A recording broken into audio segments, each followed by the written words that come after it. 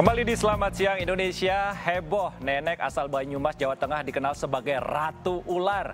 Ia memelihara tak kurang dari 135 ekor dari berbagai jenis, termasuk jenis yang mematikan, King Cobra.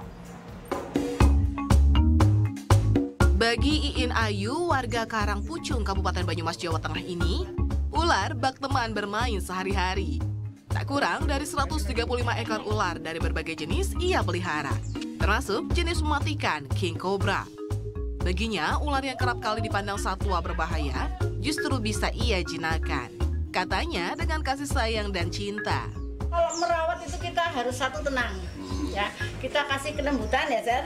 Dan kita kasih kenyamanan, jangan banyak gerakan me, sing tiba-tiba, gerakan mengagetkan gitu. Kita tenang, kita e, senyaman mungkin. Jadi nanti si ularnya itu nggak akan banyak gerakan. Atas hobinya inilah warga setempat menjuluki Iin sebagai Ratu Ular. Di rumahnya kini ada beberapa jenis ular seperti King Cobra jenis Sumatran Red yang panjangnya mencapai 4 meter lebih. King Cobra Jawa, Piton, Sanca Kembang, Viper, dan masih banyak lagi. Perempuan 50 tahun ini juga tak sekedar hobi memelihara.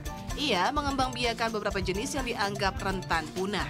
Setelah berhasil, maka indukannya ia lepas liarkan kembali untuk hidup di habitat aslinya. Sambil menjalani hobinya, Iin juga berkecimpung di komunitas pecinta reptil yang memberikan edukasi kepada warga soal seluk-beluk ular. Bayu Nur Sasongko melaporkan untuk NET.